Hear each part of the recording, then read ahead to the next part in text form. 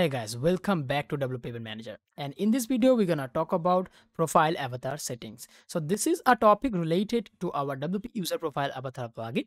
Previously, we took a look at some of its features such as uh, the username changing on our WordPress website, limiting upload file size limits. And today we're gonna take a look at the settings section.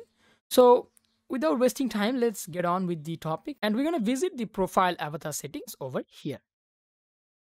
So over here, you will find like certain settings that you can tweak from.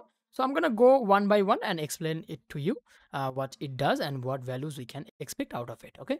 So first we have avatar visibility. It's pretty much self-explanatory. So this checkbox over here, it turns uh, the visibility for avatars. It's global settings. Either you can turn it on or turn it off. Okay.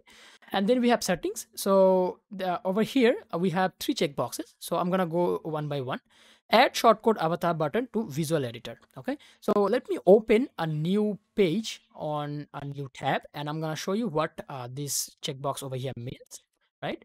So i'm using like the classic editor over here and you see there's a little uh, button over here that says wp user profile avatar right?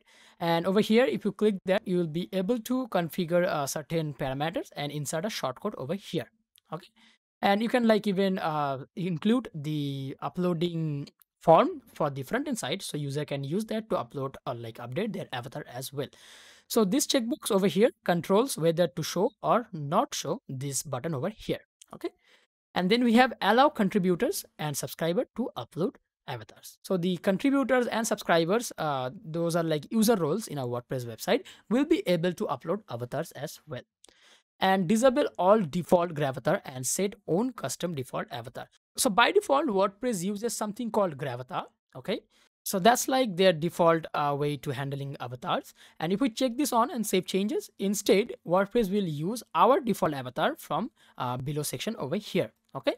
Then we have avatar rating. So these are like uh, grading or rating for avatars. So G means suitable for all audiences. PG means possibly offensive or usually audience uh, like let's say 13 and above. So this is like content rating for avatars, all right? Then we have R intended for adult audiences above 17. And then we have X is like for even more mature audience, okay? So these are content rating for the avatars. And then we have default avatar. So over here, uh, we have the default avatar uh, selection. You can use uh, the provided avatars over here. You can even choose a new image to use as uh, the default avatar on the website as well. Okay, so if we choose this and save changes, that will use uh, this avatar in global wide. Uh, whenever a user doesn't have an avatar uploaded or updated, then they will use this avatar as the default one. Okay. So uh, for this to work, we need to check this turn uh, checkbox over here as well. Keep that in mind.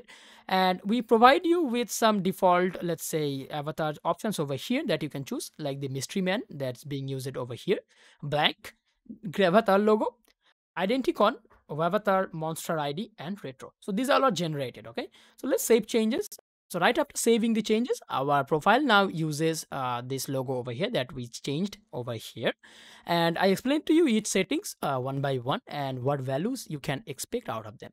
I hope this video gave you a bit of context about the settings of WP user profile avatar. And if you fail to understand anything, let us know in the comment. We'll be sure to help you out. Until next time, I'm Sharad saying goodbye. Thank you for watching and I'll catch you in the next one.